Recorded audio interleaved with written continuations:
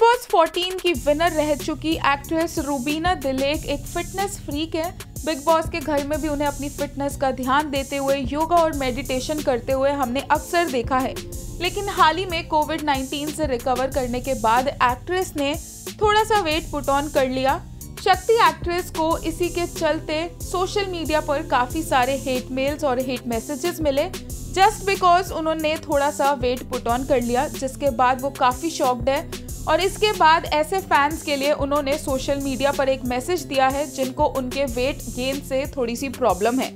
रूबीना ने लिखा dear well wishers pseudo fans I am observing that my weight gain is bothering you you are relentlessly sending hate mails and messages you don't see my worth if I don't hire a P R or if I don't tip paps for spotting you are threatening to leave fandoms cause I am fat now I don't wear good clothes and I am not working hard to get big projects. Well, I am indeed disappointed that for you my physical appearance is far more important than my talent and my commitment to my work.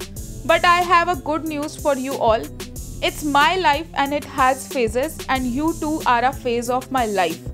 P.S. I respect my fans so don't call yourself my fan Rubina Dilaik ने ये message share करने के साथ साथ कुछ sun kissed pictures भी share की। वहीं बात करें एक्ट्रेस के वर्क फ्रंट की तो हाल ही में उनका सॉन्ग शाहरुख खान रिलीज़ हुआ है, जो लोगों को काफ़ी पसंद आया है।